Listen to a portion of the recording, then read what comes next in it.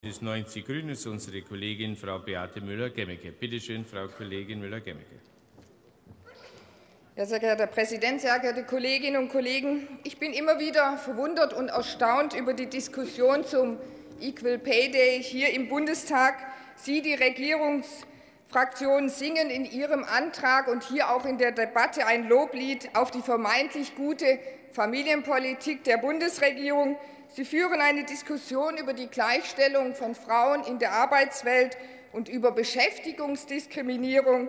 Das Thema ist wichtig. Heute aber geht dieses Thema, geht diese, diese Debatte schlicht am Thema vorbei. Denn heute geht es um Entgeltgleichheit, also um den Grundsatz gleicher Lohn für gleiche und gleichwertige Arbeit. Ich frage mich wirklich, ob Sie tatsächlich verstehen, warum all die Frauen und Männer gestern am Brandenburger Tor demonstriert haben.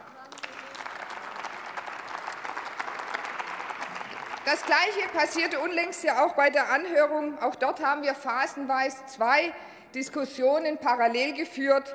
Den Regierungsfraktionen ging es um die Erwerbsbeteiligung von Frauen, um Teilzeit-Minijobs und ob Frauen einfach zu wenig Lohn fordern und sie nicht durchsetzen können.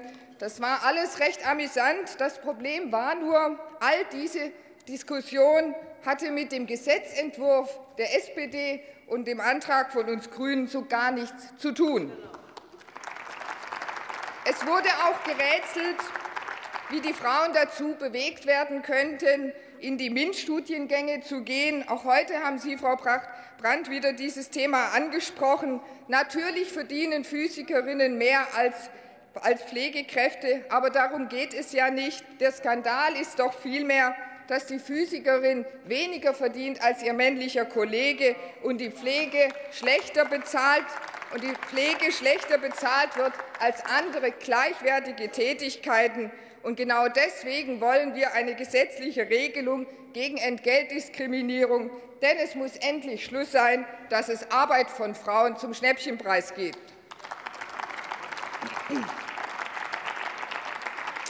Aber ich möchte nicht unfair sein. Bei der Anhörung und auch heute in der Debatte geht es dann doch auch um zwei Aspekte, die sich tatsächlich mit den Anträgen auseinandersetzen. So wird ein Entgeltgleichheitsgesetz immer wieder als Angriff auf die Tarifautonomie bezeichnet. Das hieße ja, dass die Tarifparteien Frauen unbehelligt diskriminieren dürfen, als wären sie nicht an das Grundgesetz gebunden. Ein Gesetz zur Durchsetzung von Entgeltgleichheit regelt lediglich, dass die Löhne auf Entgeltdiskriminierung überprüft werden müssen. Wie Entgeltgleichheit hergestellt wird, ist natürlich Sache der Tarifpartner. Und deshalb sind gesetzliche Regelungen in keiner Weise ein Angriff auf die Tarifautonomie.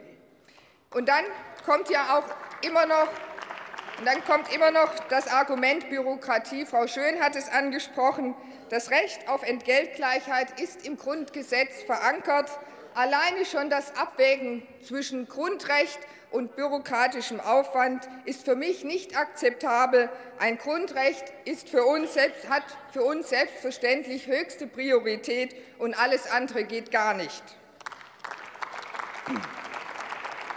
Sehr geehrte Regierungsfraktionen, die schlechte Bezahlung in frauendominierten Berufen und dazu gehören Gesundheitsberufe ist eine wesentliche Ursache für den bestehenden statistischen Entgeltunterschied. Das sage nicht ich, sondern Ministerin Schröder, und das steht auch auf der offiziellen Equal Pay Day Seite.